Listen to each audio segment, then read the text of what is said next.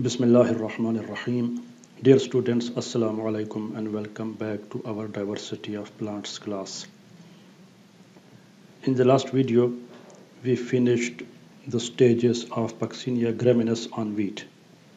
उसमें हमने देख लिया कि पिछले जो दो वीडियोस थे कि पक्सीनिया ग्रेमिनस की वीट के ऊपर तीन स्टेजेस होती हैं जिसमें हमने एक वीडियो में यूरिडिनियोस्पोर्स उनके बारे में देखा और जो लास्ट वीडियो थी उसमें हमने टीलिया और टीलियोस्पोर्स के बारे में देखा।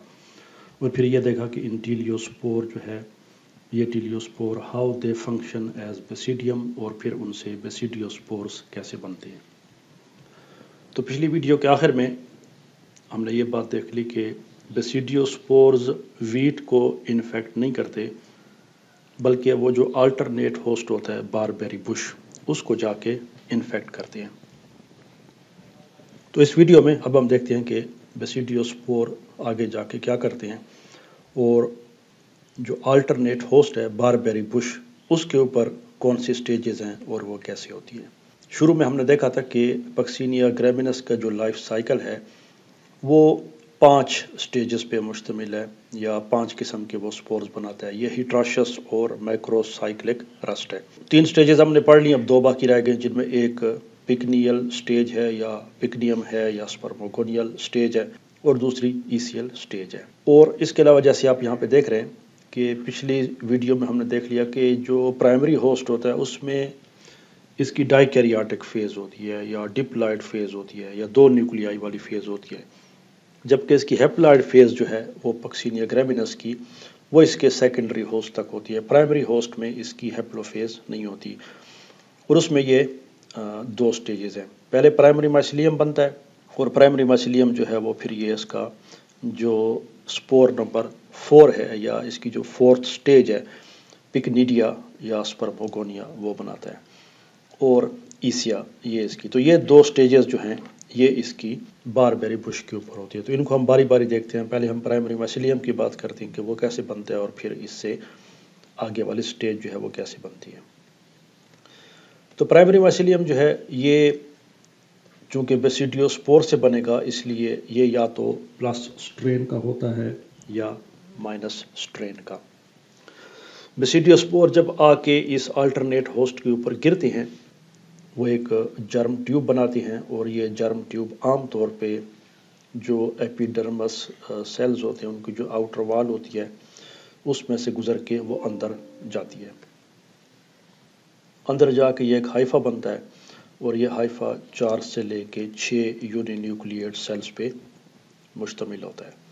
और फिर इन्हीं हाइफी से छोटी छोटी ब्रांचेस निकलती हैं और वो जो है, अब ये हाइफल ब्रांचेस जो है, जब ये होस्ट पे दाखिल होती है ख़ास तौर पे उसके लीफ के टिश्यू में इंटरसेलुलर स्पेसेस में तो ये तमाम हाइफल ब्रांचेस जो हैं दे रिप्रेजेंट प्राइमरी माइसिलियम अब एक चीज़ अगर आप यहाँ पे नोट करें कि इसका जो प्राइमरी माइसिलियम है, वो दो प्लस और माइनस स्ट्रेन के आपस में मिलके डायरेक्टली सेकेंडरी माइसिलियम नहीं बना रहा। तो ये एक इसमें फ़र्क है, पक्सिनिया ग्रेमिनस में और जो पीछे हमने एक जनरल लाइफ साइकिल पढ़ा था बेसिडियो माइकोटा में, कि दो प्राइमरी माइसिलिया आपस में मिलके, जैसे अस्ट्रीलागो में था, वो फ़ौरन सेकेंडरी माइसिलियम बना देती हैं। तो इसमें ऐसा नहीं होता, बल्कि प्राइमरी माइसिलियम जो है, ये क्या करता है, ये इंट्रोसेलुलर स्पेसेस में फैलता है और इसको हम मानोकैरियाटिक माइसिलियम कहते हैं, या हेप्लो माइसिलियम कहते हैं, या इसको primary mycelium so it is a primary mycelium monokaryotic mycelium और हेप्लो माइसिलियम अब प्राइमरी माइसिलियम जो है, ये तो या प्लस का होगा या माइनस स्ट्रेन का होगा, और चूँकि एक ही लीफ के ऊपर जो बेसिडियोस्पोर्स गिरते हैं, जैसे हमने पीछे देखा था कि बेसिडियोस्पोर जो एक इसके ऊपर बनते हैं टीलियोस्पोर से तो या तो प्लस के होती हैं या माइनस के होते हैं तो फिफ्टी फिफ्टी यानी फिफ्टी परसेंट वो होती हैं और फिफ्टी परसेंट वो। दोनों की तादाद जो है वो बराबर होती है। तो इसलिए चांसेस इस बात के होते हैं कि एक ही इसके ऊपर दोनों किस्म के बेसिडियोस्पोर जो है स्ट्रेन्स के आके गिरते हैं और फिर वो दोनों प्राइमरी माइसिलियम बनाते हैं।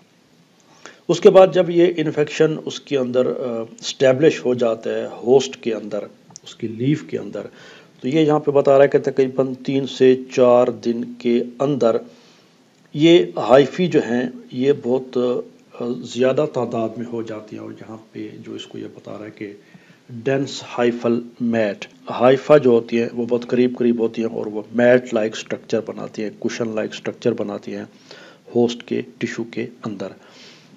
और ये मैट जो हैं दीज मैट्स यानी हाइफा के ये जो क्लस्टर होती है, उनके ये जो बहुत ज़्यादा हाइफी जो इकट्ठे हो जाते हैं, गुच्छे जो उनके होते हैं, ये एक्चुअली क्या है?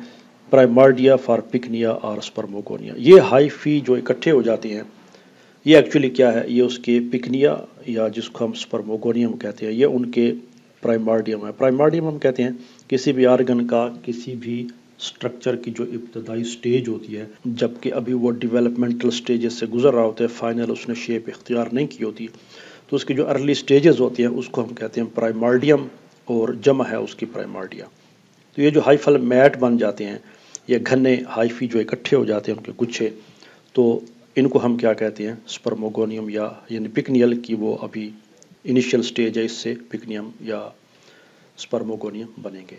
अब ये जो हाइफल मैट्स हैं, ये आपको लीफ की एक्सटर्नल सरफेस पे जो है वो नज़र आते हैं, अगर आपको याद हो, हमने पीछे देखे थे।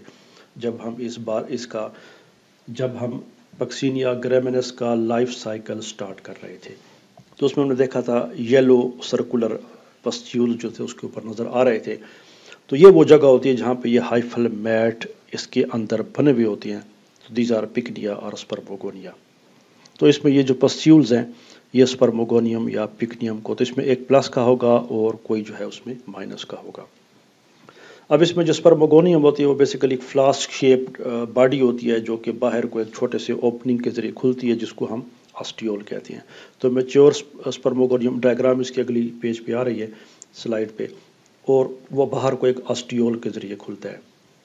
अब जो स्पर्मोगोनियम की जो केविटी होती है, उसके अंदर, ये जो हम पहली सेट का लफ्ज़ बार बार इस्तेमाल करें तो इसमें वो होता है कि जो हाइफी होती हैं, वो ऐसे क्लोजली जब अरेंज हो इस किस्म के तो दिस इज़ नोन एज पहली सेट लाइक इस किस्म की जब हाइफी की जो अरेंजमेंट होती है। सो दिस इज़ पहली सेट तो ये आप देख रहे हैं, ये डेंस मैट लाइक स्ट्रक्चर एक बना रहे हैं। जो स्पर्मोगोनियम की केविटी होती है, उसमें आपको छोटे छोटे यूनि न्यूक्लिएट और ये हाइफी नज़र आएँगे, जिनको हम स्पर्मेशियो फोर कहते हैं। ये सेल्स होती हैं। टेपरिंग हम कहते हैं ऐसे सेल को, जो आगे जाके नैरो हो जाता है ऐसे। तो ये अब इसको हम टेपरिंग कहते हैं। तो ये छोटे छोटे और हाइफी जो होती हैं या सेल होती हैं they are known as spermatia four उम्मीद आप इनका मतलब समझ रहे होंगे। फोर, वही जो हमने पीछे पढ़ा है कोनिडियो फोर स्पोरेंजियो फोर तो ये छोटे छोटे हाइफी जिनके ऊपर स्पर्मेशिया बनेंगे या स्पर्मेशियम जिनको हम पिकनियल स्पोर्स भी कहते हैं। तो ये यहाँ पे कि हर एक इसकी टिप से स्पर्मेशोफोर की टिप से, ये छोटे छोटे यूनि न्यूक्लिएट सेल्स निकलते हैं and they are known as spermatia जमा है स्पर्मेशियम की। तो ये वो फोर्थ काइंड ऑफ़ स्पोर्स हैं सेल्स हैं जो कि पक्सीनिया में बनते हैं। तो इनके बहुत सारे नाम हैं।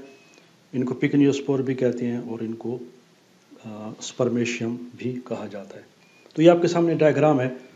उस पिकनियल कप की या इसको आप स्पर्मोगोनियम कहें या जो भी आप इसको कहें। तो ये वो आपको डेंस हाइफल मैट जिसका अभी हम ज़िक्र कर रहे थे तो ये टोटल ये ऐसी केविटी बन गई जिसकी आपको यहाँ पे ये ओपनिंग नज़र आ रही है। So this has become a cavity अब ये केविटी जो है ये सारी केविटी इसको हम क्या कहते हैं? स्पर्मोगोनियल केविटी या इसको हम दूसरा नाम क्या देते हैं इस पूरे स्ट्रक्चर को?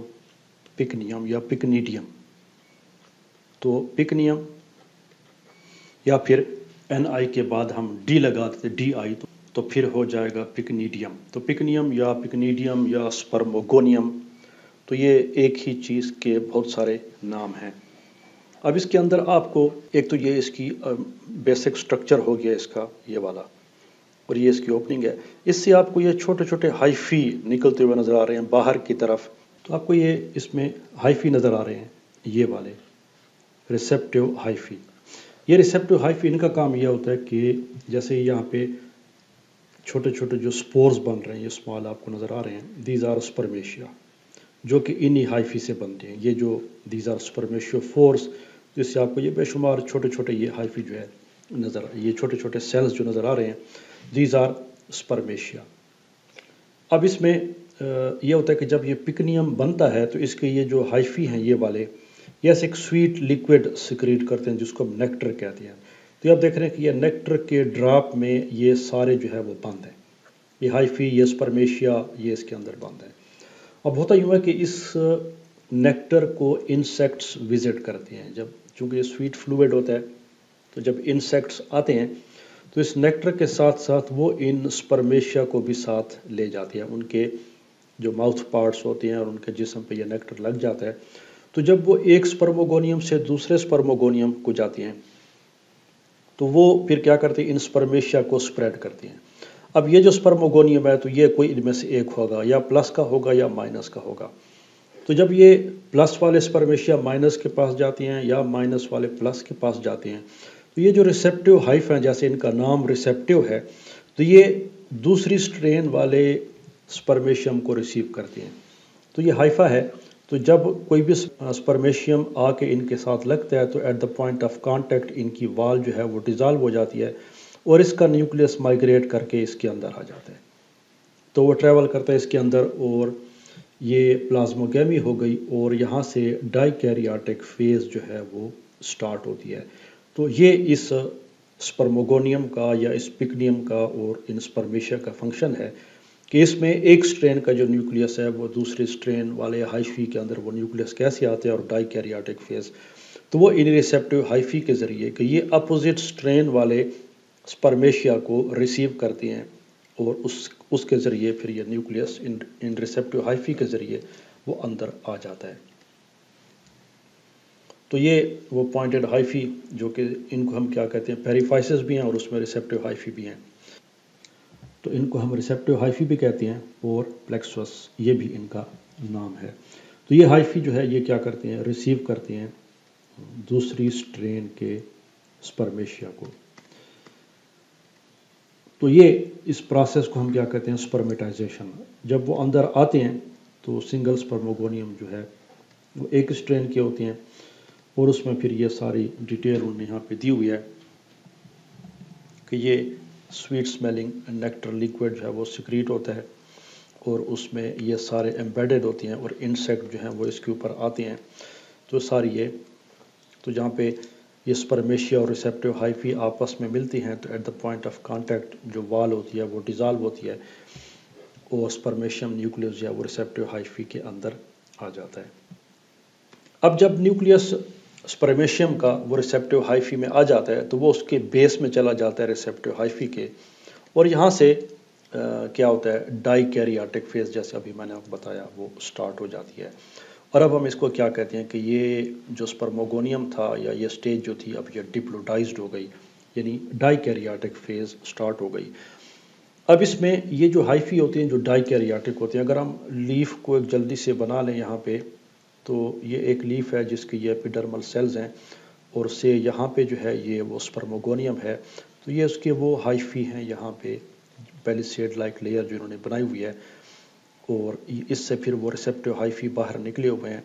तो ये एपिडर्मिस जा रही है। और इसके ऊपर ये आप देख रहे हैं, ये नेट नेक्टर है। अब सूरत हाल ये होती है कि इसका ये जो नीचे वाली एपिडर्मिस है, ये लोअर एपिडर्मिस है। तो अब जब ये स्पर्मेशियम का न्यूक्लियस माइग्रेट करके इसके नीचे आते हैं, अंदर आता है तो फिर ये it travels to the lower epidermis और यहाँ पे अब वो दूसरी स्टेज जो है, इसी बारबेरी की, जिसको हम क्या कहते हैं ईसीएल स्टेज वो स्टार्ट होगी। तो इस बात के बताने का मकसद ये था कि जो स्पर्मोगोनियम होते हैं, वो अपर एपिडर्मिस के करीब होते हैं।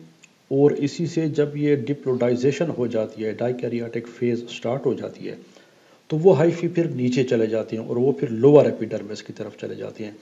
और वहाँ पे ये ईसीएल कप बनते हैं और डाइकैरियाटिक ईसीएल स्पोर्स बनते हैं, जो फिर यहाँ से जाएँगे और वीट को इन्फेक्ट करेंगे।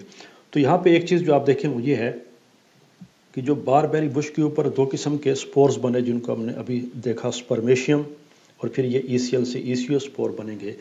इनमें से कोई भी इसको इन्फेक्ट नहीं करता बारबेरी को। बारबेरी को सिर्फ़ जो है वो बेसिडियो स्पोर आके इन्फेक्ट करते हैं। ये जो स्पर्मेशियम बनते हैं, ये स्पर्मेशियम सिंपली क्या करते हैं कि ये डिप्लोडाइजेशन का काम करते हैं। तो अपोजिट माइनस अपोजिट प्लस और माइनस के स्ट्रेन के जो हाइफी होती हैं स्पर्मेशिया वो आपस में मिलती हैं डाई कैरियाटिक फ़ेज़ हो जाती है, फिर वो हाइफी माइग्रेट करके लोअर एपिडर्मिस की तरफ़ आते हैं। और वहाँ पे वो नेक्स्ट स्टेज जो है ईसीएल स्टेज वो स्टार्ट करेंगे। तो वह इन हम नेक्स्ट वीडियो में देखेंगे।